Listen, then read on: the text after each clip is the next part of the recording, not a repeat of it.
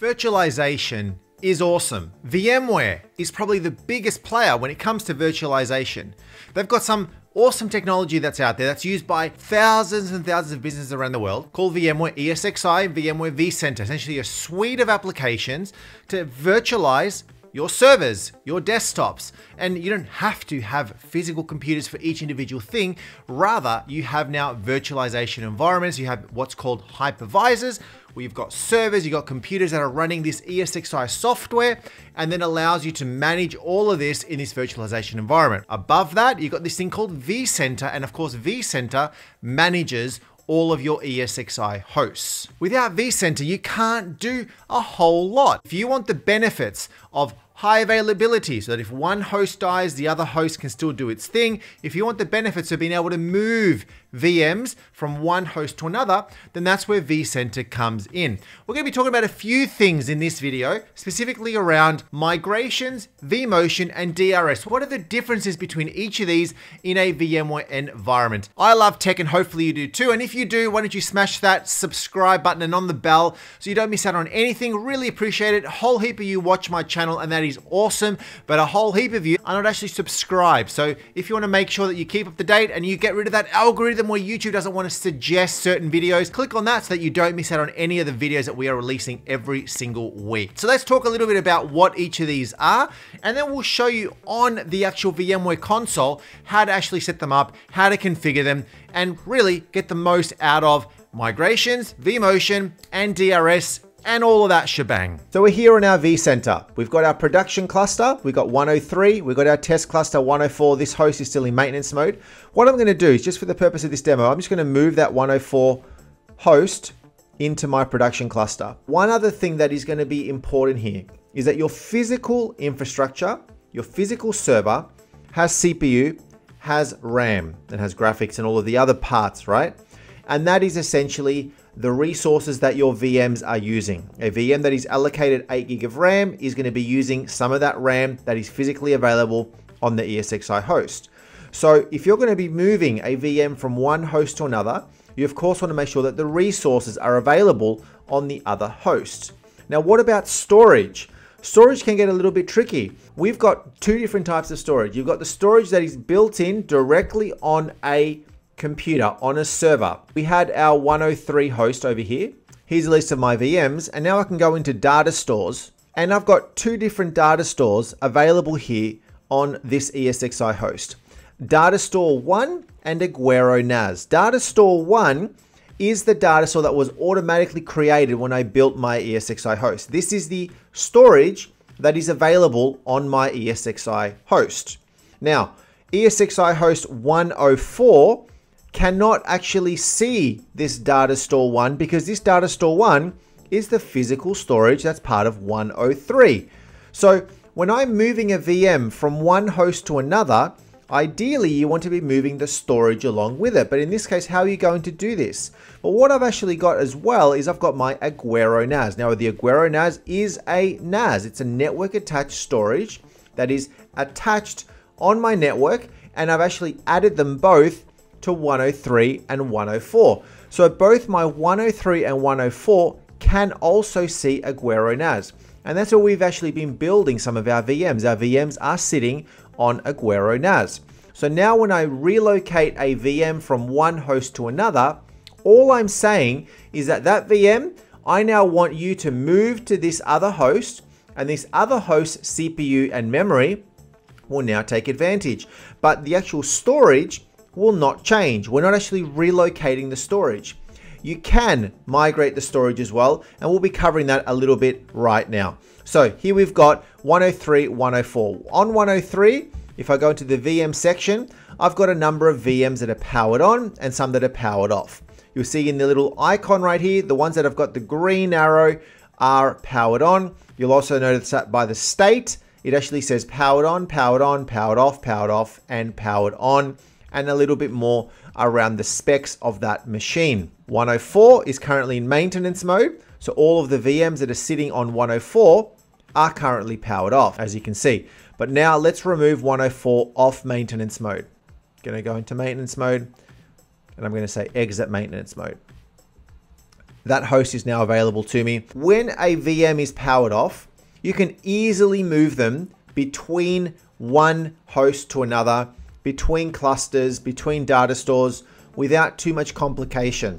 But of course, that requires you to move a VM into powered off state. What you can actually do is with a technology called vMotion, you can actually move the VM from one host to another while the VM is still powered on. You don't have to power it down because if you need to power down a virtual server, then you're potentially going to have a small outage. So wouldn't it be great if you could actually move it from one host to another while it's powered on? So what I'm going to do, I'm going to just show you right in here, 104, I've got these, uh, I mean, there's this, there's this other one right here. We're not going to touch on this one, but we've got three VMs, Kali Linux 01, my Windows 11, and Windows 10 Virtual. Let's say my Windows 10, uh, my Windows 11 right here, my VM that, that is powered off, I want to move it off 104 and move it onto 103. What I'm going to do is I'm going to right click on my Windows 11 right over here, and I'm going to say migrate. What do we want to do? change the virtual machine compute resources, storage, or both. Well, let's say I want to change the compute resources. What this is referring to is I'm going to migrate the virtual machine to another host or cluster. So I'm just going to say it's part of 104. So all the compute resources, which is the CPU, the RAM, all the other bits, are now going to be given to 103. And now I want to use the compute resources of 103. The second one is change storage only. So you can migrate the virtual machine's storage to a compatible data store or data store cluster. So what you could do is you could leave the VM running on 104. So the compute resources, the RAM, the CPU, etc., are being used on the 104 host, but the storage now is somewhere else. It's no longer as part of 104. Changing both compute resources and storage. We're going to move the whole VM the compute resources, the CPU, the RAM, to another host, and we're also going to point it to a new data store, to a new storage location. And then the last option is you can actually completely move that VM to another vCenter server altogether. So right now the VM is powered on, so I can easily go and change compute resources only. Let's go ahead and do that. We're going to say next. Now you'll notice that there are four hosts in here. let's go ahead and select 103. Now this is a time issue that we've got over here. It's just more because the time is different and it's more than five minutes. That's what I'm getting this warning message, but we can select next. And we've got some underlying network. That network, of course, we had a virtual switch with some port groups and they're connected to a physical switch in the back end. Your network administrators are gonna look after those physical switches and perhaps they're on a specific IP range. So if you're happy with the VM network that you've selected, we can select next. And here's a summary of what's going to happen. It's just going to change the compute resource only. Now this should work without problems because the VM is powered off. There's no issues around here. We're not using this vMotion technology just yet, which allows you to move VMs while they're powered on. With the VM powered off, you generally will not have problems moving it from one to another, as long as all the compatibility settings all match up. And we can now select finish. Down the bottom, you'll see that the relocate virtual machine has completed successfully. And now under 104, under VMs, I've now just got my Kali Linux and my Windows 10 virtual.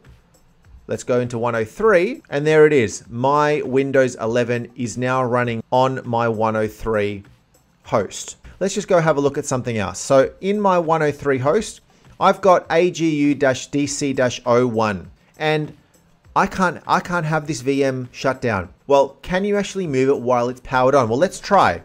I'm going to go ahead and right click on this one and I'm going to say migrate. And what I'm going to do is I'm going to move both the compute resources and the storage. So I want to move it from the storage of 103, wherever that was connected to, to the storage of 104. But I also want to move the compute. So I want to use the CPU, the RAM, all of those resources now of my 104 host Previously, it used to be my 103 host. So let's go ahead and select next. Where do we want to move it to? Well, I'm going to say Australia and I'm going to say production.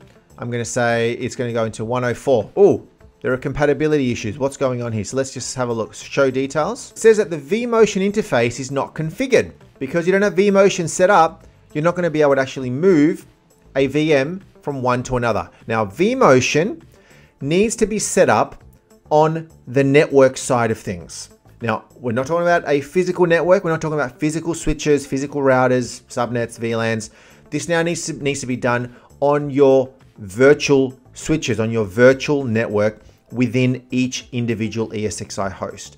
We're going to be configuring what's called a VM kernel port. You're essentially setting up a port on your virtual switch. So all of your traffic, when you are moving a VM from one host to another host, will be traveling over this VM kernel port, a dedicated port on your virtual environment, on your virtual network for vMotion traffic. You need to, of course, set this up on every single ESXi host that you want this ability to be done on. Now, one thing that you will need to be keeping in mind here is that this is going to use up network traffic. It's going to use up some network traffic on your ESXi host. So if you have got an ESXi host that has just got one physical NIC, one physical port, then this is now going to be traversing a lot more traffic, which is why there's always benefits to having additional ports, multiple network ports on a ESXi host. The more you've got, the better load balancing you've got, but you could also set up one dedicated port for everything that is management related, including the vMotioning, for example.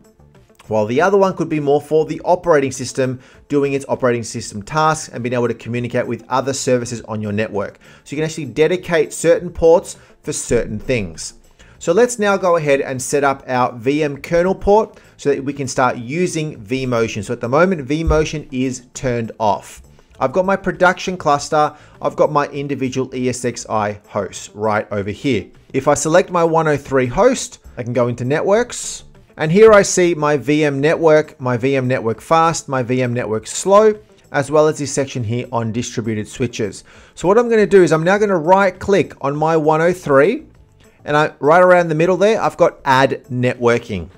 So add networking, I'm now going to be presented with some options. A VM kernel network adapter, the VM network TCP IP stack handles traffic for ESXi services such as, here we go, vMotion, iSCSI, NFS, fiber channel, this is FC, fiber channel over ethernet, fault tolerance, vSAN, host management, etc. So it's a dedicated port, a dedicated network adapter called VM kernel for doing all of these things. Then you've got a virtual machine port group for a standard switch, which is what you've seen right here. So those VM, those three VM networks that we've got are part of your standard port group for a standard switch or a physical network adapter. Physical network adapter handles the network traffic to other hosts on the network. In our case, we're going to do a VM kernel network adapter. I'm going to select next. Three options, an existing network, selecting an existing standard switch, or a new standard switch. We don't currently have an existing one, so we're going to select an existing standard switch. So on what virtual switch are we going to go create it? Well, it's completely up to you. If you've, only, if you've only got one virtual switch, you select your virtual switch. If you've got more than one, you select the virtual switch that is relevant for you. We're going to say vSwitch 0, Right there, we're going to select now next. I now add some additional information, including the network label. What do we want to call this particular port? Well, to make it easy, I'm going to, you can call it VM kernel, but I'm going to say, I'm going to call it vMotion. Okay. Do you want it to be part of a different VLAN? Now, we're not going to cover too much about VLANing, but you can put an actual VLAN in here if you want to look at segregating this even further, but you'll probably need to do that in consultation with your networking team. What IP do you want to give it IP version 4, IP version 6? MTU we'll leave as default and the TCP IP stack being default or you can actually go and change that. We're going to leave that all as default, okay? So leaving it IP version 4. Now what services do we want to turn on as part of this service? So vMotion of course is what we want to be using. If you want other things to be running on here, you select the other things in here. But of course, if you want to be very, very smart about how you're balancing your networking load, your bandwidth, you don't want to be putting too many services on one individual port. Okay, so in my case, I'm just leaving it as vMotion. So vMotion is the name of it. It's going to be using vMotion. We can select next. Now, IP address. Yes, here you have to set up an IP address for your vMotion. The vMotion port needs an IP address. Now you can leave it as obtain automatically, which is going to be using some sort of a DHCP service. Or what I generally recommend is always setting a static IP address for your vMotion. So go ahead and add an IP address, generally in the same IP range as your ESXi host, as your existing network, allocating an IP that is not being used, that is not allocated. Again, if you're doing this in a corporate environment, make sure that whatever IP you're allocating is not used elsewhere. So I'm going to go ahead in here and put in my IP address. My IP range is on 172.16.1 and I'm going to give it a 107 IP address. I'm going to give it a subnet mask. Do you want to do the default gateway? You can override the default gateway, but it already knows that it's on 1011. So I'm going to leave that. And I've got some DNS servers already there. So I'm going to leave the rest as the default. Let's update that. It's not going to work otherwise. Okay, so this is my IP address of 107. We can now select next. Summary what's going to happen right into here. It's on vSwitch 0. It's going to create vMotion using vMotion protocol and select finish. Okay, down the bottom, you'll see a few things have happened in my tasks. It selected the virtual NIC and it updated the network configuration and now vMotion is set up on 103. So what I can do is I can go into the configure area. I've got a whole bunch of things in here that I can look at it configuring. Under the networking area, you can now see here are my virtual switches. The one right there, it's called vSwitch 0, and here is my vSwitch 1. Nice little graphic, a virtual switch. And what about the physical ports? Well, here we go. I've got a physical adapter. This is the physical NIC on my physical ESXi host. On the back of my ESXi host, there's just one network point. And that's what that is. That's a one physical network point. And what have we got? Well, I've got two ports right here plus these two networks right here. A management network, this is how I log into my host. I've got all these VMs that are running on this VM network, and here are the ports, VM network fast, and vMotion. There it is, the new port that we've just set on the IP address of 107 and VM switch 1 with my VM network slow, but it's not connected to any physical adapter. So if I was to move a VM into VM network slow, you'll actually lose network connectivity because physically there is no physical adapter connected to that ESXi, connected to that VM. So we're going to do the same thing now on 104. 104, you'll notice that you've got a VM switch as well. Just the one, VM switch 0. It's just got management and a physical adapter. And of course my VMs. They're powered off at the moment. But under VM kernel ports, well I don't have anything in here.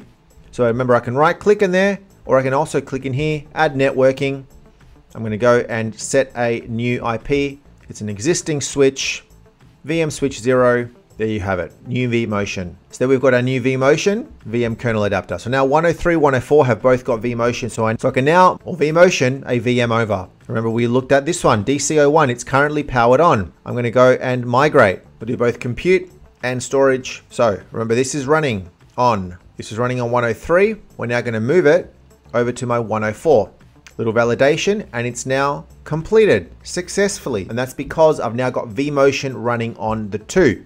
Can now select that one. What storage do we want to move it to? Well, Aguero NAS is also being visible by my 103. So both 103 and 104 can see my Aguero NAS. So I could just choose to leave my VM on that storage if I'm happy with that. Not a problem, can definitely do that. Or I can move it to the 104 data store. Let's actually do that. Let's move it to the 104 data store. The VM network will leave them the same. Now here is where you want to make sure that it's consistent because you want the VM network to be available on both to make sure making sure that you're not losing any network connectivity. So you've got two options. Schedule vMotion with high priority. So vMotion receives higher CPU scheduling preference relatively to normal priorities. vMotion might complete more quickly, or you can schedule lower CPU scheduling to high priority migrations, you can extend vMotion duration. So you select the one that is recommended for you, depending on the load that you've got available. We'll leave it as the recommended and select next. Summary, what's gonna happen and finish. You'll notice that down the bottom, we've now got a relocate virtual machine and it's now doing two things. It's moving the VM's resources from one to another. So in the background, there's these config files which you would have seen when we were looking at the actual VM summary of what's inside the data store. There's the VMDK file, which is where all the big hard drive is. And then there's all these other files, including some config files. The config files are now being updated to say, hey, you're now being managed by 104 instead of 103. And it's also relocating the storage, if you remember, from my Aguero NAS to my data store that is sitting directly on 104. Let's look at DRS. DRS, here it is. vSphere DRS. What is DRS? Well, DRS got vMotion. vMotion is allowing you to migrate VMs from one host to another host without those VMs being shut down. Yes, you do it while they're live. So you as a VMware administrator, as a server administrator, you've got to be going and checking the monitoring the performance of those hosts. And when things are running a little bit hot here or there, if there are specific conditions, you are manually moving one to another. Selecting a VM that is on this host, you don't want that on that on that host anymore. You need to move it over, maybe because there's more resources available on the other host.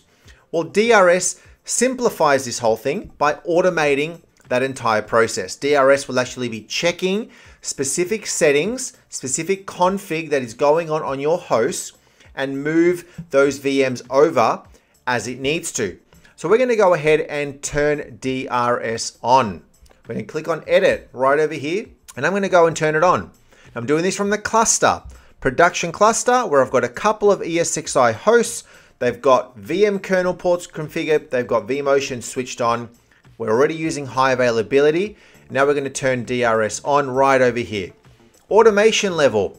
DRS automatically places virtual machines onto hosts at VM power on and virtual machines are automatically migrated from one host to another to optimize resource utilization.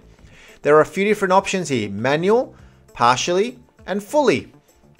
Manual, not really going to do much. So DRS generates both power on placement recommendations and migration recommendations for virtual machines. Recommendations need to be manually applied or ignored. So DRS is going to be actively checking the health and the performance of your hosts. And what the manual option will do, which is really nice to get started, is it'll recommend it. It'll say, hey, Emilio, ESXi 03 is running out of CPU. It's running really, really hot. Maybe 90% of the CPU is being used. I recommend that you move this VM to 104 because 104, host 104, has got plenty of CPU. It'll give you a recommendation and then you go and manually vMotion one of those VMs from 103 to 104. That's what manual is going to be doing. Partial, DRS automatically places virtual machines onto hosts at VM power on. Migration recommendations need to be manually applied or ignored. And then as we said, fully, it'll actually fully automatically migrate the VMs over. I personally like the fully automated, but what I recommend is that you play around with this. You want to be very specific and very careful about what VMs are getting moved over here and there because sometimes you may not want VMs to be moved over. You've got to be very, very well, very well aware of that. So maybe as a starting point, I recommend that you just start off with manual and just try it out for like a week. See how things are going. Have a look at the sort of recommendations that DRS is giving you before you then go and set them to partially first and then perhaps fully automated later on. What is the migration threshold? Well, as it says, specifies how aggressive DRS recommends vMotions. Recommendations are generated automatically based on resources demands demanded by the virtual machines, resource allocation settings, the reserve limits, etc., and the resources provided by each host and the cost of migrating VMs. The more conservative, the less frequent the vMotions. So right over here, you see there's some settings. You can set it to version to number one, all the way up to number five. You can actually see a bit of a, a little bit of a summary here. So DRS will only apply recommendations that must be taken to satisfy cluster constraints like affinity rules, which we'll cover. Host maintenance, DRS will not try to correct host imbalances at this threshold. So you've got two main areas. On the very far left, you've got the conservative, less frequent vMotions. On the very far right, you've got aggressive, more frequent vMotions. It's great. You can actually set how aggressive you want vMotions to be moved. All the way over here, VMs are potentially going to be moving all over the place. You need to play around with this. You need to go and try this yourself. Start off with number one. Be very conservative. Just make sure that you are aware of what's going on, right? Maybe start off with some manual, conservative, and just check out what's going on, what recommendations, then move maybe move to fully automated with conservative and see what's going on. I've generally found in my experience over the years, conservative doesn't really do much. Doesn't really do much. You generally have to go a little bit higher up to actually see some of that DRS moving. But every environment is going to be different. Depending on your small, medium, or large environment, play around with this threshold. Start off small, move up. You don't also want just V, you know, vMotions taking place all the time in the middle of the day. You may actually produce other issues in your environment. You may actually encounter some blips in the network, some ping, some drops of your packets. So just be very, very careful around that. Okay, so for now, we're gonna just leave it maybe at number four for this demo, but you do it the way that you need to. Predictive DRS, well, what's this? In addition to real-time metrics, DRS will respond to forecast metrics provided by vRealize. Only forecast metrics will, with high confidence uh, will be considered for DRS. So you can turn this on if you're using vRealize operations. If you're not using it, no need to turn it on. Virtual machine automation, override the individual virtual machine can be set for the VM overrides page. I, I generally leave, leave that turn on. You want to automate that process, okay? You can see some additional options around VM distribution, enforce a more even distribution of virtual machines across hosts in the cluster for availability, may see degradation of DRS when utilization when utilizing this setting. CPU over commits, power management, advanced options. There's some other parameters that you can actually pass. So you need to go in and try to do this yourself. Try to be very, very conservative up front. Play around with these different sorts of settings. See how it's going and then tweak the settings as you go. You may want to take advantage of this VM distribution where you want the VMs to be evenly loaded perhaps or distributed across your hosts, but you may not want that. Okay, so with all of that settings set up, I'm gonna now say okay. Now from time to time, what you're gonna now find is in your task down the bottom, you're gonna see things happening. You're gonna see vMotions taking place, VM moving from here to here.